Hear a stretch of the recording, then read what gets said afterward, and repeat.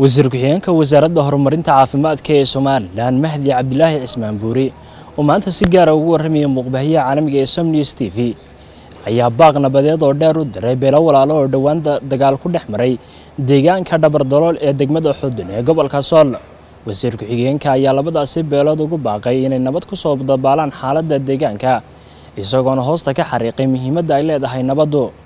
Wasiirka ayaa iftiimiyey khasaaraha maaliyadeed iyo nafeed ee ka dhalan kara hadduu dagaalkaasi sii socdo. Marka hore waxaan baaq u dirayaa walaaladayda sool rijikaa sool ku dagaalamaya.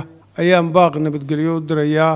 Waxaan leenahay haddaanu nahay wasaaradda caafimaadka horumarinta caafimaadka waxaanu idin leenahay caawa ruux inaga geeriyooda oo si macno daraa inoogu geeriyooda diyaar uma nihin.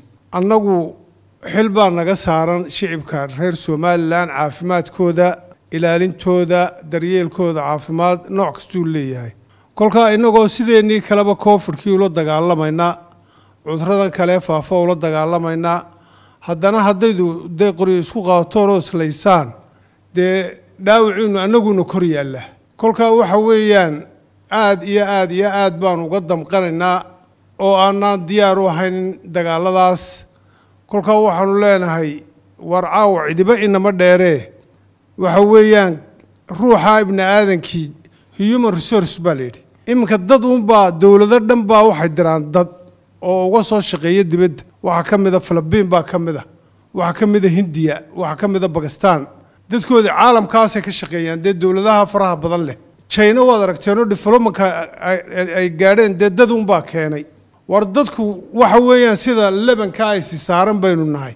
Kolba haddaydu dumisaan oydu dhallinyaradii laysaan dee waxa weeyaan developmentkii iyo horumarkii amba dalka aad ku soo kordhin laydeen amba riijinka aad ku soo kordhin laydeen amba qoyskiina aad ku soo kordhin laydeen amba naftiina aad ku soo kordhin laydeen dee meesha wuu ka baxayaa. Taasina waa barkumataal. Iminka wax la taaban karo oo ay caruurteennu ku dhimatay garan mayno. Kolkaa walaalayaalo ma kala maaranno.